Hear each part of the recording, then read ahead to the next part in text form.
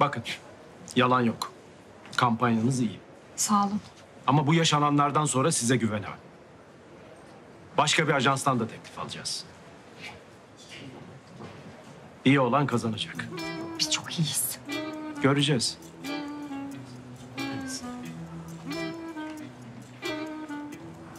Ne söyledin amca? Kampanyanızın çok iyi olduğunu söyledim. Ve toplantıdaki tavrının aksine biraz daha profesyonelce davranmasını rica ettim.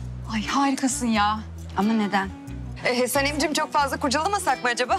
Çünkü çok cesursunuz. Yani kendinize o kadar çok güveniyorsunuz ki birden Arturo Capello diye bir yönetmen uyduru veriyorsunuz. Hayran kaldım, tebrik ederim. Fark ettiğini nasıl fark edemedik ya? Ay nasıl fark edeceksin zaten? Yani sonuçta yeni tanıştınız ne oldu? Ee, nasıl anladınız peki? Yani internette o kadar zaman araştırdığım ve hiçbir şey bulamadığım bir yönetmenin birden web sitesi ortaya çıkınca tabii bilişimci bir arkadaşımdan rica ettim. O da bana sitenin birkaç saniye önce kurulduğunu söyledi. Dediğim gibi hayran kaldım. Kız Zeki. Tek akıllı biz değiliz tabii. Biz tam akıllı sayılmıyoruz işte. Amcandan neden gizledin peki? Bu kadar ileri gittiğinize göre gerçekten çok istiyorsunuz bu kampanyayı. Ben de cesaretli insanlarla çalışmayı severim. Dediğim gibi. Kendinize iyi bakın, kolay gelsin. Anca yetişsin bacakları kısa anca koşar. Arkadaşlar en azından kampanya hala bizde. Evet, biz bu şirkette yarışacağız yani. Canım biz şimdiye kadar kaç ajansa yarıştık. Hepsinin arkasından da şampanya patlattık. Hiçbir şey olmaz. Değil mi Deren Hanım? Ya e, çocuklar gerçekten çok özür dilerim gerçekten ama siz hani böyle yaşam sizinle başlamış gibi davran falan deyince Onu mu dedik ama biz? Aa ben o şekilde mi konuştum sizinle? Birazcık ukala olun dedim. Adıma küfür edin mi dedim size? çok haklısın çok haklısın ama hani biraz doğaçlamadan bir şey çıkmaz diye düşündüm rolden çıkamadım. Çıktı ama bir şey çıktı, zarar çıktı. E, Bunu telafi edeceğim gerçekten. CC Selim Bey biraz da dışarıda dolaştırma yapsın. Çok özür dilerim. Ama bakın şunu söyleyeceğim o ben değildim. Bana bir şey oldu içeride. O ben değildim. Aynaya bakıp üç kere kendi isminizi söyleyin belki çıkarsın.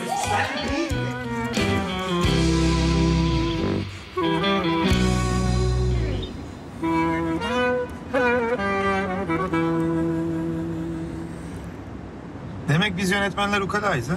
Hepiniz değil canım. Canım derken böyle C büyük harf üstten virgüllü canım mı yoksa Lafın gelişi. bir sorun mu var? Yok bir sorun yok. Gerçi bir sorun olmuş olsa süper kadın kahramanımız Ayça gelir ve hemen halleder değil mi? Vaziyede anlaşıldı. Anlaşıldı anlaşıldı. Her şey çok net anlaşıldı. Benim anladığım şey mi anlaşıldı yoksa benim anlamadığım bir şey mi anlaşıldı? Bak orasını anlamadım. Anladın. Sen her şeyi anladın. Anlamıyorum ya. Vallahi anlamıyorum. Bir gün sıcaksın, bir gün soğuksun. Bir saat önce gülümsüyorsun, bir saat sonra surat asıyorsun. Bir ara beni görmezden geliyordun, şimdi kıskanıyorsun. Ya bir sağdan esiyorsun, bir soldan esiyorsun. Sanem sen ne yapıyorsun? Ne fark eder? E fark eder. Ya ne fark eder söyle. Şu kayıp iki yılım içinde seni aramayı bırakırım. Arama boşu boşuna bulamazsın. Kalbindeki duyguların silindiğini söylemedin mi babana? Sanem bir dinle. Ya dinlesem ne değişecek? Hiçbir şey değişmeyecek ki. Senin o kalbinden silinen aşk var ya, benim kalbimde dövme dövme. Hiçbir şekilde çıkmıyor, hiçbir şekilde silinmiyor. Artık delireceğim, hatta delirdim, tımarhaneye yattım. Bak benim kalbimi, beynimi, ruhumu ilaçla doldurdular. Ama yine silinmedi. Sende nasıl bir anda uçup gitti anlamıyorum.